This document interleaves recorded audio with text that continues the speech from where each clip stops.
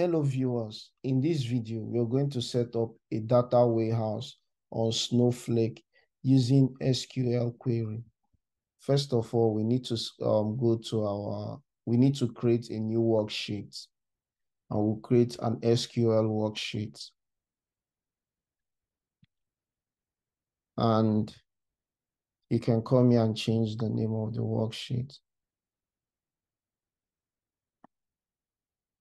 So you can click rename to change the name of the worksheet because um, automatically to generate the, the day and the time you set up the worksheet. So let's let's call it um, um, data warehouse.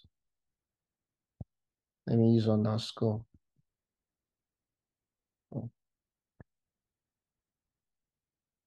Let's let's call the warehouse data warehouse. Warehouse worksheets.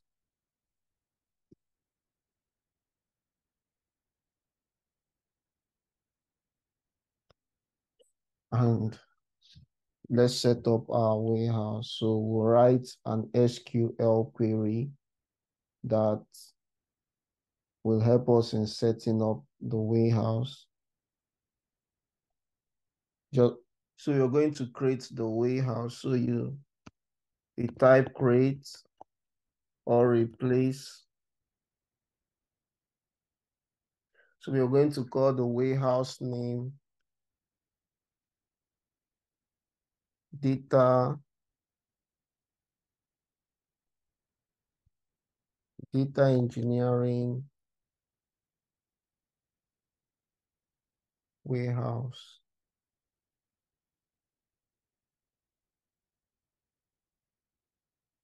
So with we'll add the features now with let's call the warehouse type.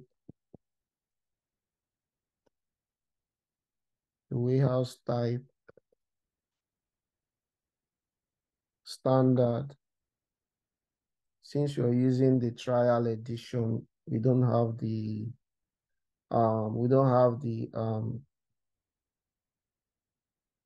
since we're using the trial edition we're going to use standard.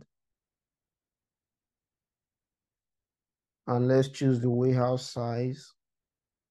This is very important. This determines the amount of credits you're going to use in each warehouse and it depends on the size of the data you'll be ingesting. So for this project, you're going to use extra small, which is one credit per hour because Snowflake charges on credits. And the minimum, the minimum cluster count, you're going to use one.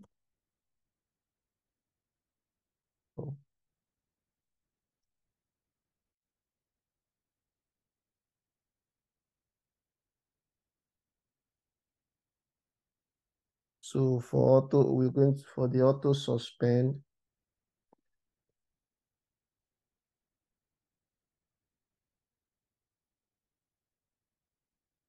Auto suspend, let's put it to no.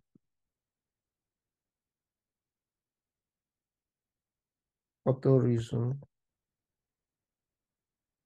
Well, you have a choice to increase, reduce, increase. Let's put the auto suspend to 300 millimeter and um, auto resume.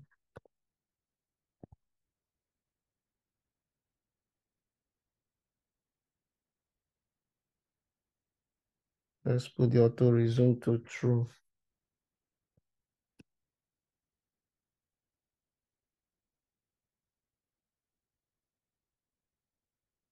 And the initially suspended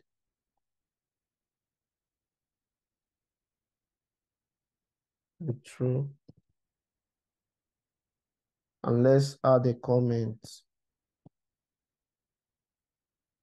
So the comment here is going to be a string. So we use uh, single double single quotes. So let me say this is our data engineering